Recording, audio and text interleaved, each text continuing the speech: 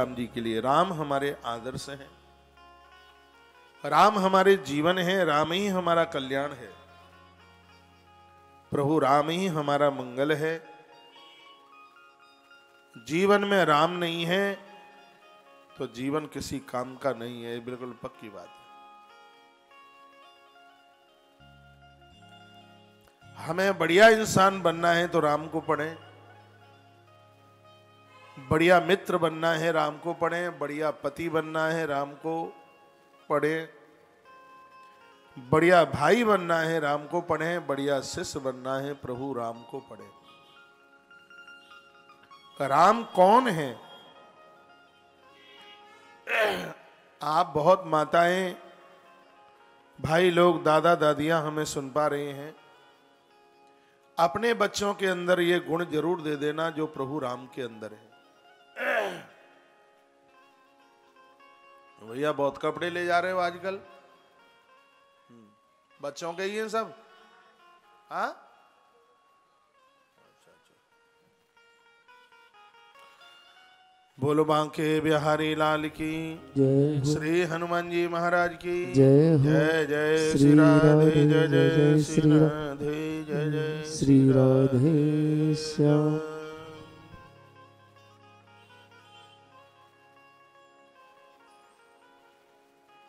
क्या कर रहे हैं?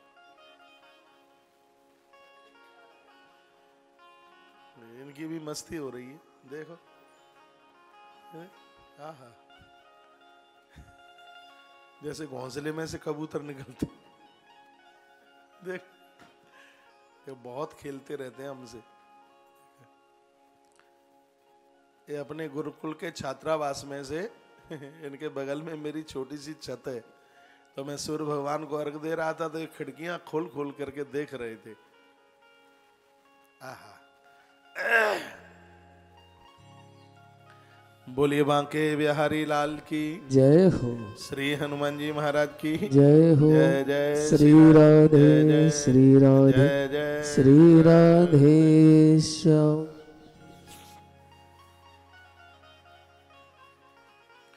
राम जी के अंदर क्या विशेषता है? जो विशेषता आपके बच्चों के पास भी होनी चाहिए। एक एक सूत्र को याद रखना। लिख सके तो लिख भी लेना। धर्मे तत्परता, मुखे मधुरता। दाने समूसाहता राम जी के पास विशेषता है, सबसे पहला है वो धर्म में लगे रहते हैं। प्रभु श्री राम जी धर्म में लगे हैं, शिव सहस नाम का पाठ करते हैं राम। राम महादेव का जप करते हैं राम। राम वेद पढ़ते हैं। राम अच्छा साहित्य पढ़ते हैं तो धर्मे तत्परता। राम जी नित्य महादेव की आरती सुबह शाम करते हैं। आप करते हैं, आपके बच्चे करते हैं क्या? आप बताते ही नहीं है। करेंगे कहाँ से? आपको ध्यान ही नहीं है। और ये आप ठीक नहीं कर पा रहे हैं, बुढ़ापे में तुम बच्चों के पास नहीं रह पाओगे। राम जी की कथा सुनकर बच्चों को राम जैसा संस्कारीय बना दीजिएगा। ये राम को संपूर्ण संस्कार इनके माता पिता के द्वारा ही मिल गए। धर्मे तत्परता, राम धर्म में तत्पर है, नित्य महादेव के सन्मुख दीप जलाते हैं। राम जी चार वर्ष के हैं, मैंने भसुंडी रामायण में पढ़ा है। राम जी चार वर्ष की उम्र से भगवान महादेव का नित्य महारुद्राभिषेक करते हैं। नित्य। राम जी बहुत छोटी आयु के हैं, नित्य सरयू स्नान करने को जाते हैं। राम पहुँचते हैं, माता सरयू मुस्कुराती है। राम जी स्नान करके आते हैं, महात्मा लोग तपस्या करने को बैठते हैं। वो कौपीन फाड़कर राम को दे देते हैं।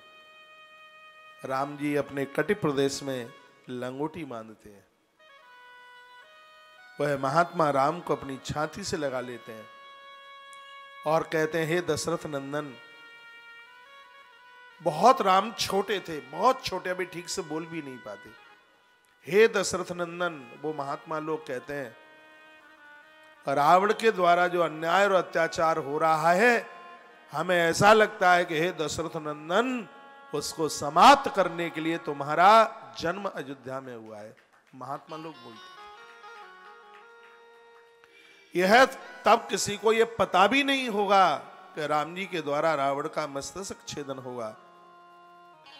रावण की सत्ता को ध्वस्त किया जाएगा तो महात्मा तपस्वी लोग। प्रभु राम जी के सामने ऐसा बोलते, चार वर्ष का बालक साधुओं के हाथ को लेकर के अपने सिर के ऊपर रखता। यानी वो इशारे में कहता यदि तुम्हारा आशीर्वाद है तो रावण की लंका को डहा दूँगा। यानी वह इशारे में ऐसा कहते होंगे, साधुओं की आँख में आँसू आ जाते थे। महात्मा लोग प्रभु श्री राम को अंक में भर लेते, छाती में लगा बीस इक्कीस महीने हो गए कथा सुनते हुए, हर रोज आपको नई कथा, नया साहित्य। तुलसी बाबा की रामायण आपने बहुत सुनी है, मैं उसे हट करके कुछ चर्चा आपसे करूँगा। और बड़ा अच्छा लगता है जब आपके ये फ़ोन आते हैं और आप कहते हैं कि हर रोज एक नई कथा सुनने को मिलती है। हमारे ये सब बालक भी बड़े बदल रहे हैं। जब मैं सुबह पूजा में बैठा था तो कहा जा रहा था, क्यों? बाल्टी में गंगा जल डाला है कि नहीं? तो इसका मतलब है कि गंगा की कथा सुनकर इनके ऊपर भी असर पड़ रहा है, फ़र्क पड़ रहा है। प्रभु श्री राम सरयू में आचमन करते हैं। स्नान करके आते हैं, महात्मा लोग अपने अंक में भर लेते हैं, छोटे राम है अभी। महापुरुष, महात्मा लोग यज्ञ करते हैं, हवन करते हैं। मेरे प्रभु श्री राम जी पीपल की छोटी छोटी लकड़ियाँ लाकर उस कुंड को सजाते हैं। ये राम का सौहार्द देखिए, ये राम का बचपना देखिए। इनको कहा नहीं जाता। प्रभु श्री राम पीपल की लकड़ियाँ, समिधा बीन बीन करके लेकर के आता है।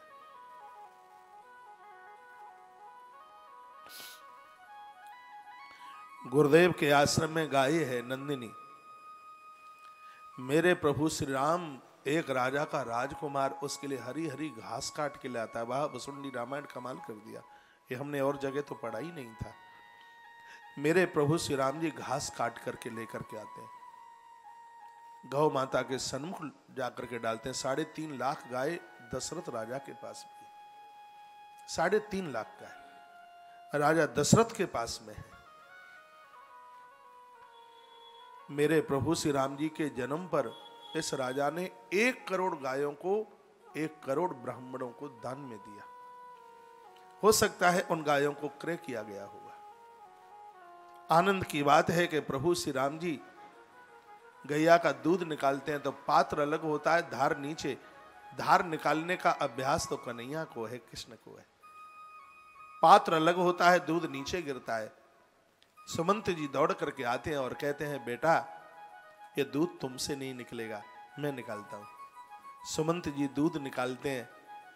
लेकर राज घराने की तरफ़ चलते हैं तो राम जी बाल्टी को पकड़ लेते हैं। एक बहुत बड़ा तपेला लेते हैं, उसको भरते हैं। और सीधे घुड़शाला में पहुँचते हैं और अपने हाथों से उन घोड़ों को मेरे प्रभु राम दूध पिलाते हैं। शायद इसी दृश्य को माता कौशल्या ने अवलोकन किया। गोस्वामी तुलसीदास जी ने कवितावली लिखी। उसमें जिस समय प्रभु श्री राम जी का वनवास हो चुका था, भरतलाल जी भी चित्रकूट से लौट करके आ गए थे। अवध में सन्नाटा छाया हुआ था। अयोध्या के लोगों ने अन्न नहीं खाया चौदह वर्ष तक। अवध में किसी के शादी विवाह नहीं हुए चौदह साल तक। अयोध्या में महाराज दशरथ के अलावा चौदह वर्ष तक किसी की मृत्यु नहीं हुई। एक दिन की बात थी, माँ कौशल स्नान करके आ रही थी। एक फेरुआ पथिक पहले सामान बेचने के लिए लोग गाँवों में जाते थे। वो लौट करके आ रहा था। माता कौशल्या ने पूछा, भैया, तुम कहा जा रहे हो? उसके मुँह से आवाज़ निकल गई, माता, मैं चित्रकूट की तरफ़ जा रहा हूँ। रो पड़ी माँ कौशल्या और कहने लगी, भैया, यदि चित्रकूट के रास्ते में तुम्हें कहीं मेरा राम मिल जाए तो मेरे राम को कह देना कि राम, एक बार तू अयोध्या जा। अपनी इन बूढ़ी माताओं के लिए नहीं घुड़शाला में सुमंत काका के हाथ से बाल्टी छीनकर तपेलों में भर करके तुमने जो दूध उन घोड़ों को पिलाया, वो राम, वो घोड़े आज पानी पीने को भी तैयार नहीं है। तेरी याद में एक बार उसे घुड़साला में तू अपने घोड़ों को देख लेगा। तो तुझे इस बात का एहसास हो जाएगा कि मेरी याद में यहाँ के पशुओं की हालत है तो यहाँ के नगर निवासियों की क्या स्थिति होगी? वो राम है, धर्मे तत्परता मुखे मधुरता जिस राम के लिए प्रकृति रोई है, हम बड़भागी हैं कि हमारा जन्म प्रभु राम जी के देश में हुआ है। भारत का रूप बदल गया, प्रभु राम के आगमन से राम जैसी मर्यादा, राम जैसी शीलता, राम जैसा अनुभव, राम जैसा ज्ञान, राम जैसा समर्पण कहीं देखने को मिलता नहीं है। भारत की धरती पर रहकर और हम राम को नहीं पढ़ पाए तो मनुष्य जीवन लेना न लेना एक बराबर का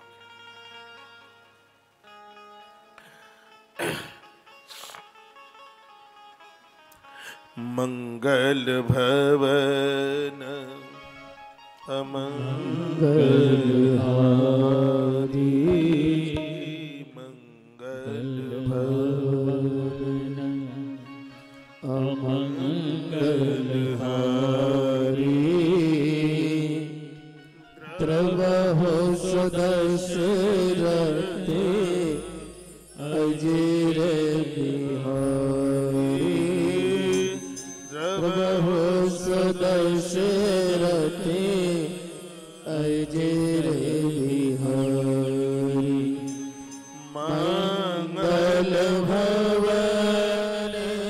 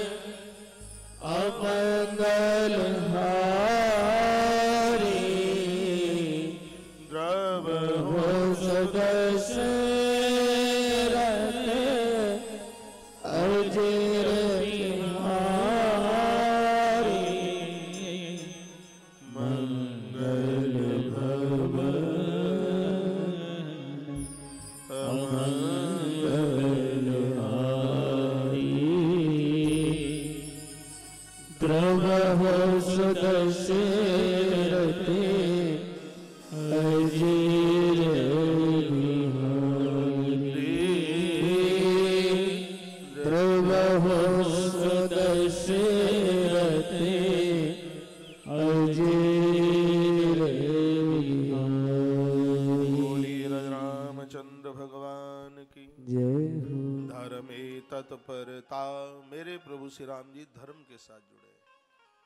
महादेव के शिवालय बहुत हुआ करते थे। प्रभु श्री राम जी ने छोटी आयु में सबका जीर्णोद्धार कराया। राम जी के हाथों से अनेक अनेक शिवलिंगों की स्थापना का वर्णन भुसुंडी रामायण में किया गया।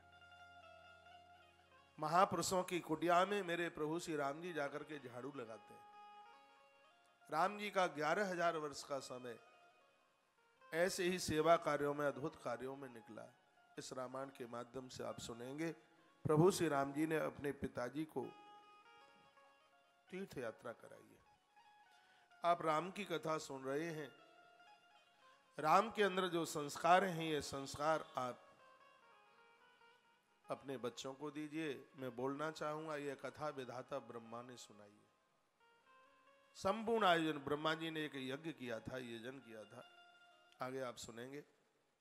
उसमें देवताओं ने पूछा था कि यज्ञ किसके लिए किया जा रहा है? कहा, जो सब कुछ जिसने बनाया, मुझे भी जिसने बनाया, वो प्रभु राम है और ये यज्ञ उन्हीं के लिए समर्पित है। ये स्वयं विदाता ब्रह्मा बोले थे। धर्मे तत्परता, मुखे मधुरता। राम जी की दूसरी विशेषता है इनकी वाणी बहुत मधुर है। बहुत मीठा बोलते हैं, राम की वाणी में बहुत आकर्षण है। राम के शब्दों को सुनने के लिए देवता अयोध्या नित्य आते थे। रोज आते थे। देवराज इंद्र तो जाने का नाम नहीं लेते। राम जी इतने मुखर है। गंभीरता है, मुस्कुराहट भी है। ये आपने मानस में सुना है कि जिस समय परशुराम जी क्रोध करते हैं, उस समय राम जी की कोमल वाणी सुनिए। प्रार्थना करके कहते हैं कि जिसने इतनी बड़ी गलती की है गुरुवर वह आपके दास के अलावा और हिम्मत किसकी हो सकती है? राम ने कहा था, हुई है केव एक दास तुम्हारा, वो कोई दास आपका यदि मधुरता सीखनी है तो प्रभु राम जी को पढ़िए। एक दिन प्रभु श्री राम जी गुरुदेव वशिष्ठ को कह रहे थे गुरुजी, यह जीव कामी क्यों होता है? तो गुरुदेव वशिष्ठ ने कहा था, कोटि जन्म समुत्थेन राम संसार वासना। हे राम, बेटा, यह वासना करोड़ों करोड़ों जन्मों की है। और परमात्मा के भजन से यह भव रोग बीमारी कट जाती है। इन्होंने ये शब्द बोले थे। तो राम जी ने इतने अद्भुत प्रश्न जो किए हैं वो बड़े मर्म से भरे हुए हैं। मधुरता मुखे, राम बहुत मीठा बोलते हैं, बहुत मधुर बोलते हैं। मीठा बोलिए, मुस्कुराते बोलिए। बहुत लोग तो इतना कड़वा बोलते हैं कि करेला भी उतना कड़वा नहीं होता। मधुर बोलिए, ऐसा बोलें कि लोग रास्ता भूल जाएँ। चलना भूल जाएँ, रुक जाएँ आपकी मधुर आवाज़ सुनने के लिए। इतने मधुर भाषी बनी। ऐसी वाणी बोलिए, मन का आपा खोई और को शीतल कर ही आप हूँ शीतल हो लेकिन आज के लोगों ने उसे बदल दिया, ऐसी वाणी बोलना सबसे झगड़ा हो बासे झगड़ा ना करना जो तुमसे तगड़ा हो। मधुर भाषी बनी वाणी में आकर्षण हो। कभी मैंने बोला था कि बड़ों के साथ जी लगा करके व्यवहार कीजिए। रोटी पर घी, नाम पर जी। आनंद देता है। जी जी जी। जी जी जी जी। मधुर भाषी बनिए। पति लोग भी मीठा बोले और देवियाँ भी मीठा बोले। तू तड़ाके की भाषा नहीं। बहुत देवियाँ जब गुस्से में होती हैं तो अपने आदमी को तू करके बोलती हैं। चप्पलें भी दिखा देती हैं।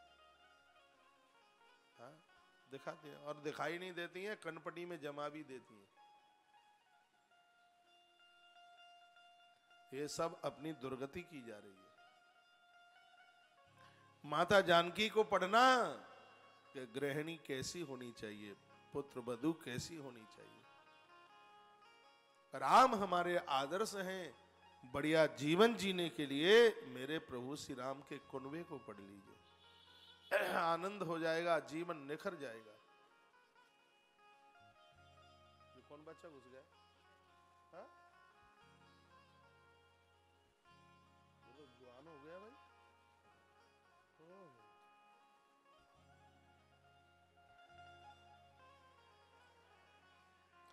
धर्मे तत्परता मुखे मधुरता। दाने समोत्साहता मेरे प्रभु श्री राम जी, बहुत बड़े दानी हैं। देने की भावना बचपन में ही आ गई थी। आपको पता है पहले दरवाजे पर आटा चून मांगने वाले लोग आते थे। अब तो नहीं आते होंगे। हमें भी ध्यान है, माँ बोलती थी, चुक, चुट, चुकटी डाल, चुटकी या चुक, चुकटी डाल के आ जाओ, ऐसा कुछ बोलती। हाँ हाँ चुकटी डाल के वो खुद भी डाल सकती थी। वो इतना काम करती तो ये भी काम वो कर लेती थी, लेकिन वो जानती थी कि इन बच्चों से कराएँगे तो इनके अंदर देने की भावना आएगी। माताएँ अपने बच्चों से दरवाजे पर कोई मांगने को आता है। चारों भैया दौड़ दौड़ कर वो होड़ी होड़ा। आके रोते थे। प्रभु ने ज़्यादा डाला है और हमने कम डाला है। वो आपस में ऐसे उनको देने की होड़ लगती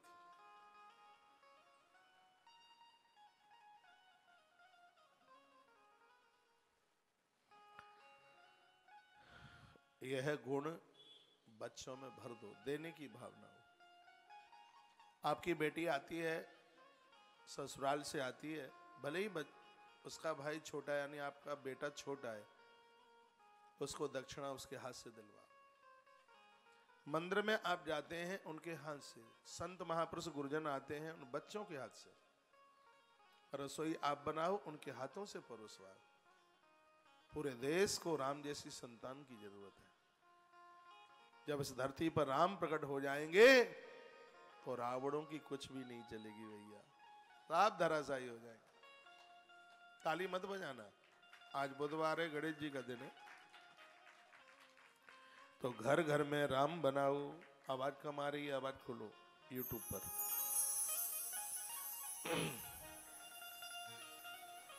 दाने समुत्साहता।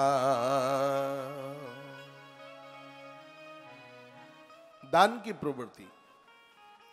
मित्रे वंचकता मेरे प्रभु श्री राम जी ने अपने मित्रों को कभी धोखा नहीं दिया।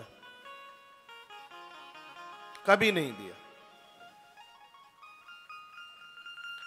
अंत तक मेरे प्रभु श्री राम जी ने सदैव मित्रों मित्रों के दुख को अपना दुख समझा। और ये राम राम जी का वाक्य है किसकिंदा कांड में?